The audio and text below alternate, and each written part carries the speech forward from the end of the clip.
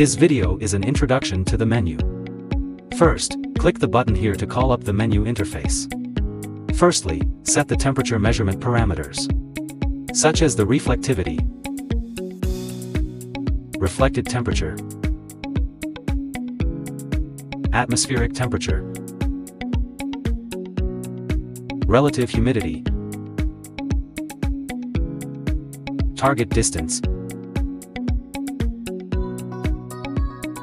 atmospheric transmissivity.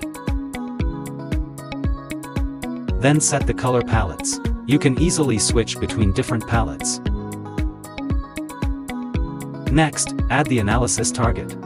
You can set the dots, lines, rectangles, circles, and the temperature difference mode.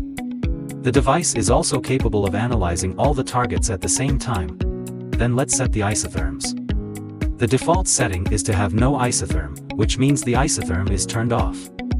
Upper isotherm, lower isotherm, and interval isotherm or isotherm outside the interval. We can also customize the colors of the isotherms. Choose different isotherm colors based on the needs of various scenarios. Finally, the setting interface, click to enter the system settings.